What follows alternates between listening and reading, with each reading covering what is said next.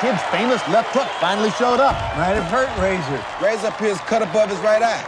Razor is cut.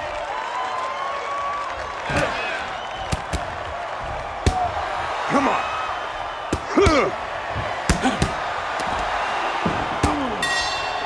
Bell sounds. What? Hey, Whoa!